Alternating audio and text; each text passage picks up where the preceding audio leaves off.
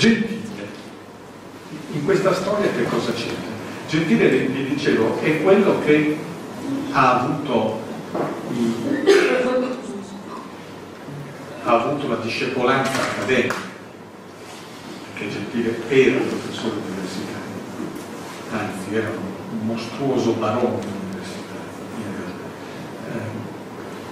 Eh, perché essendo povero, naturalmente aveva investito sulla carriera accademica, non era un latifondista come Croce, e essendo bravo era andato in cattedra spirito ed essendo anche abile si era costruito una rete di potere e pressione anche.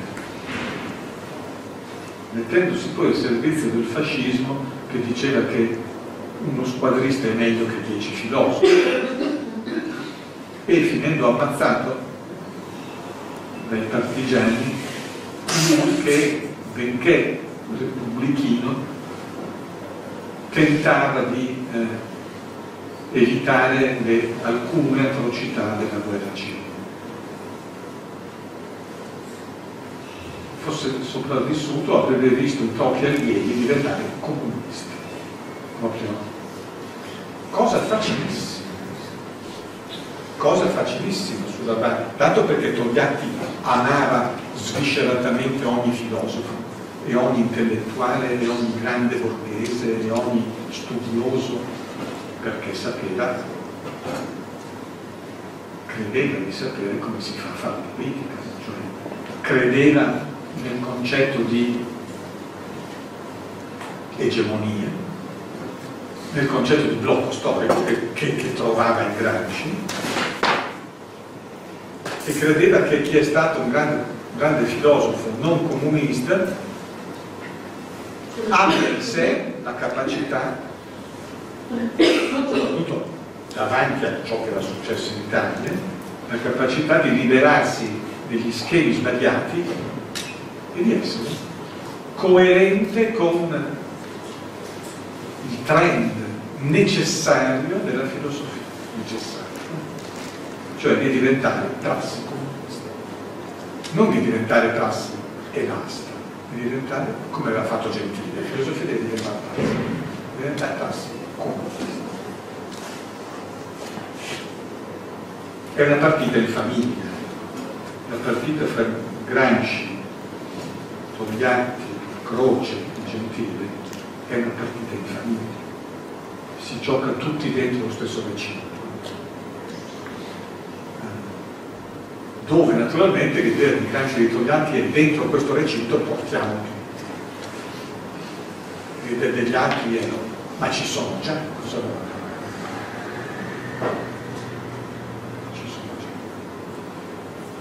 Gentile avrebbe visto i suoi, i suoi allievi diventare comunisti. Cosa, ripeto, non difficile per un Gentile, perché Gentile non aveva elaborato invece aveva fatto Croce, alcun criterio che gli permettesse di essere antifascista. Cioè, non aveva elaborato una filosofia della mediazione, una filosofia del progresso, una filosofia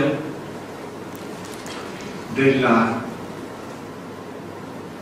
distanza ancora, della distinzione fra politica e morale che per Croce non coincideranno mai, anche se asintoticamente si avvicina.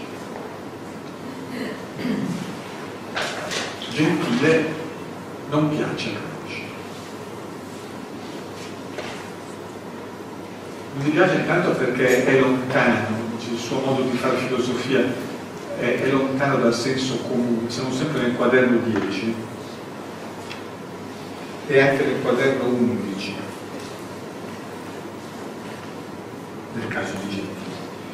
Eh, il suo modo di fare filosofia è, è lontano dal senso comune e dal buon senso, cioè non ci si capisce niente, di primo acchito. Mentre Croce ha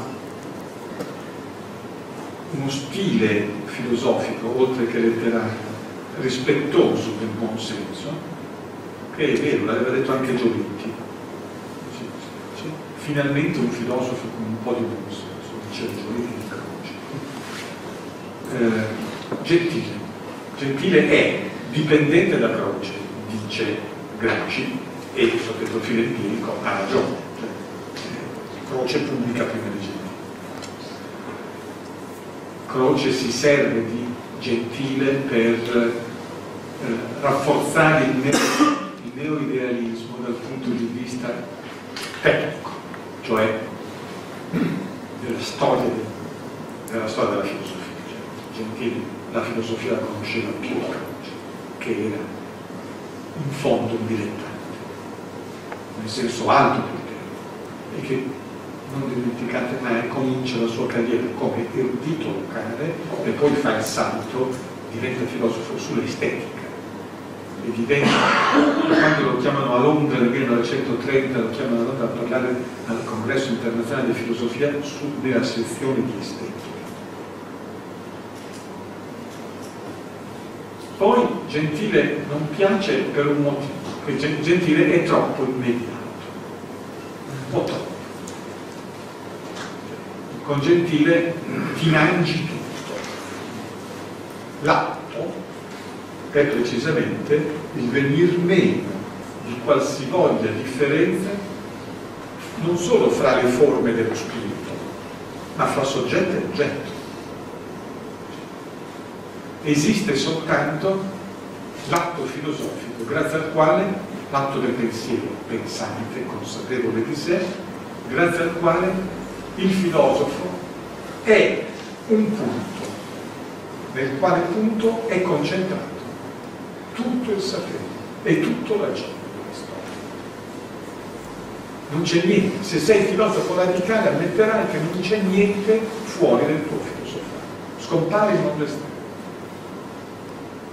Eh, non è neanche una filosofia della coscienza, perché la coscienza è ancora mediazione fra stati psichici, no, è filosofia in cui il discorrere la mediazione, la discorsività del pensiero, sono contratte e condensate in un punto. Ogni atto di pensiero è la creazione di un mondo, è un Big Bang.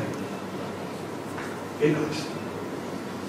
Pensiero si mangia le differenze e dunque non c'è bisogno bisogno di una filosofia né di un sapere, ma nel senso delle istituzioni non c'è bisogno di un sapere giuridico, non c'è bisogno di un sapere storico.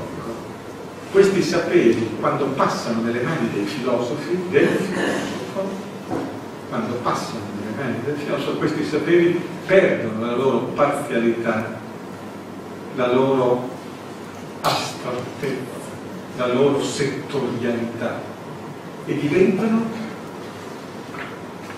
non pezzi di filosofia, perché la filosofia non ha parti, diventano atto puro del pensiero. Quando io penso, tutto il pensato sta dentro di me. Questo atto non ha un prima o un dopo, è, è la cosa in sé trasformata in pensiero in sé. Voi direte, perché sei ridotto così questo? semplicemente abbreviato quello che Hegel o Croce distendono nella storia, il progresso, la fatica dell'umanità, se, se, alla fine, se alla fine si deve arrivare al razionale reale, ah, se ci arrivi ci puoi arrivare a pezzi, vuol dire che era già possibile all'inizio. Allora mi spieghi questa storia, questo progresso, questo farsi, questa fatica, dove sono? Sono soltanto da un punto di vista empirico, non filosofico. Dal punto di vista filosofico non c'è storia, c'è progresso, è già tutto presente. Dopo che abbiamo operato tutte le critiche, abbiamo fatto fuori il razionalismo, il tomismo, le metafisiche di tutti i tipi, gli scienziati che non capiscono niente, eccetera, eccetera, abbiamo detto, abbiamo capito che la filosofia è un, è non c'è altro che l'atto dell'affermazione della filosofia. Il soggetto e l'oggetto si fondono, sono la stessa cosa. Perché dire che questo succederà fra mille anni? Se succede fra mille anni, vuol dire che può già succedere. Non si costruisce l'universale a pezzetti. Finché pensi in termini di universale, beh, allora vuol dire che l'universale c'è già. Se c'è già, la sua determinazione filosofica pura non è aspettare che si sveli, basta.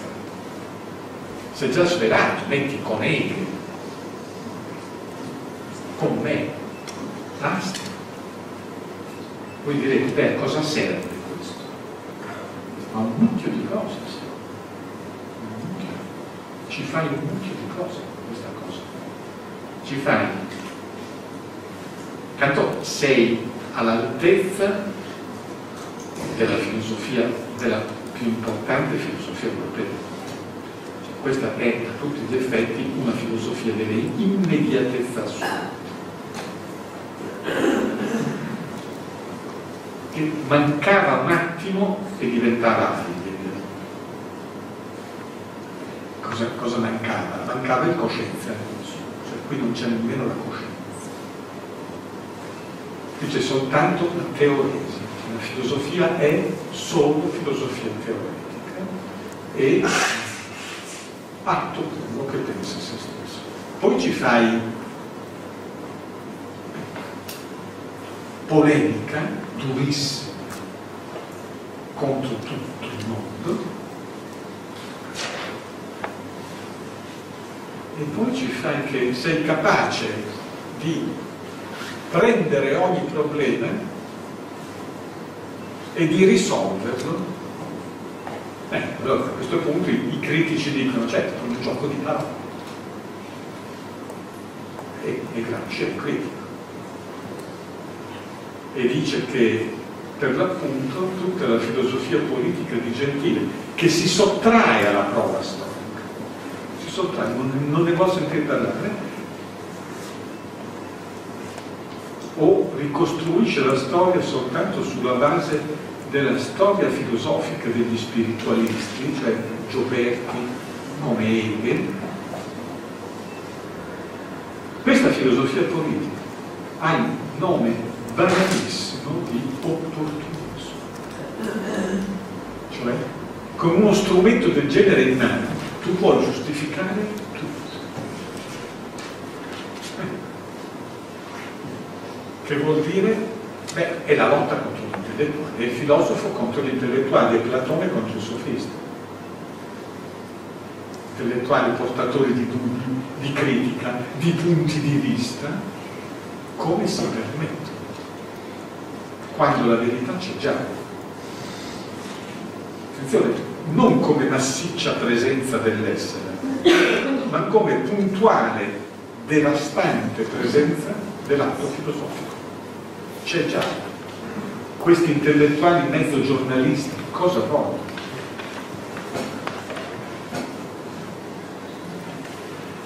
È una filosofia che voi capite, non si degna di dialogare. Eh, se è immediatezza, dialoga. O se dialoga ha soltanto l'impulso a assorbirti. Eh, quello che dici tu è sbagliato, poverino tu non puoi capire. Sì, c'è un posto nel mio sistema, al centesimo livello più basso, sì, c'è in effetti. La tua posizione. Se dai il potere a uno cosa, cosa fa? Da una parte quello che vuole, dall'altra fa niente. Perché? Perché va dietro a quelli che fanno e dice che hanno fatto bene. Oppure davanti ai problemi storici o politici. Dice, ma è un falso problema.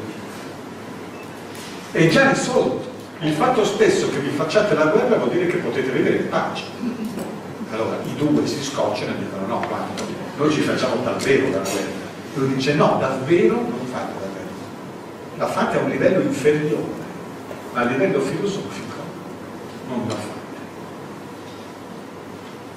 Questo è da una parte seccante, dall'altra estremamente, astutamente forse, forse no, io sono propenso a pensare che il Gentile fosse un uomo onesto che veramente non capiva. Eh, che non capiva che ci sono, a un certo punto ti devi fermare, perché le alternative ci sono.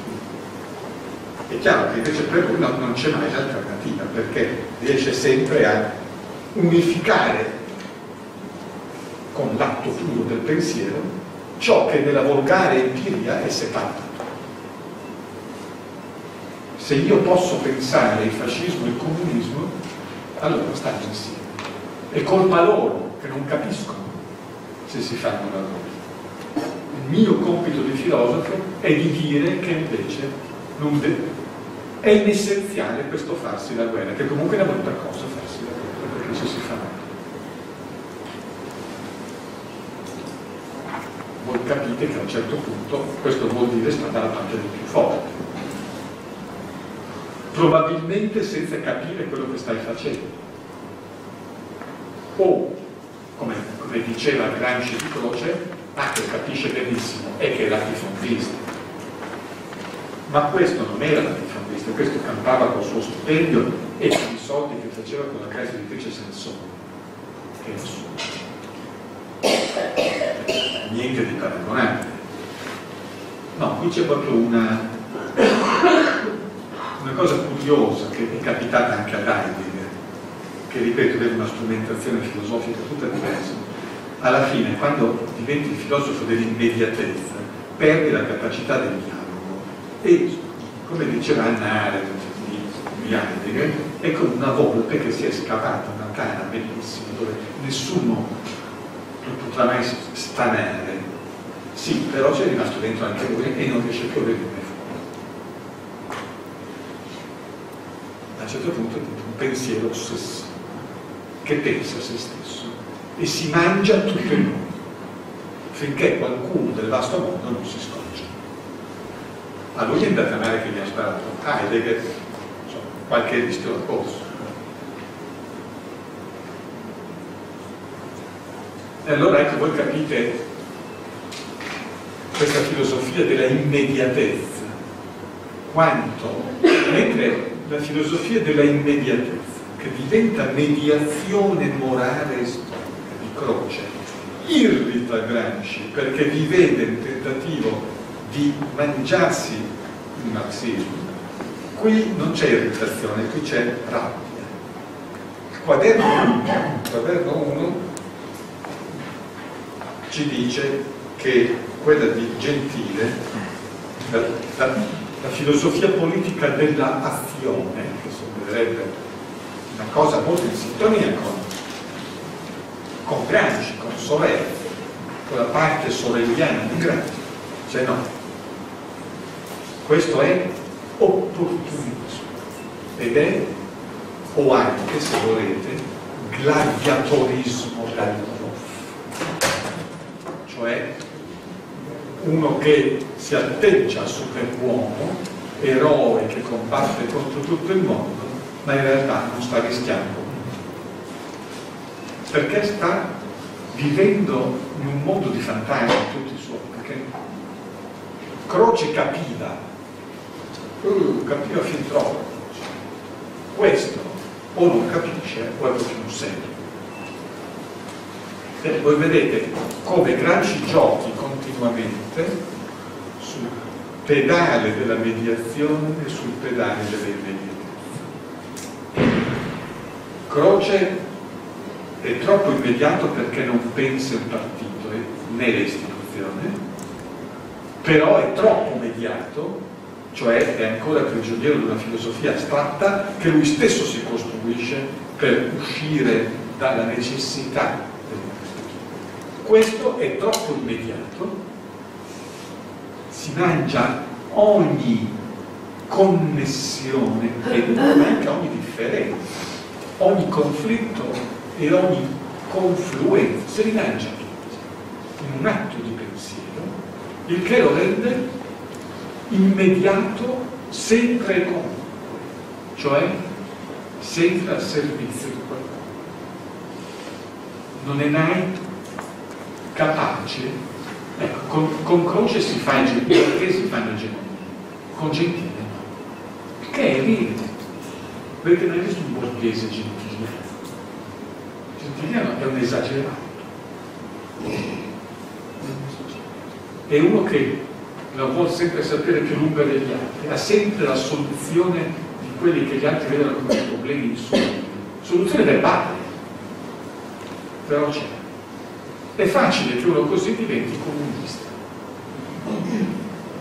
Quando, quando era comunista io sul serio, cioè è un benaltrista. I problemi che voi avete davanti oggi vi sembrano enormi problemi, ma in realtà ce n'è altro.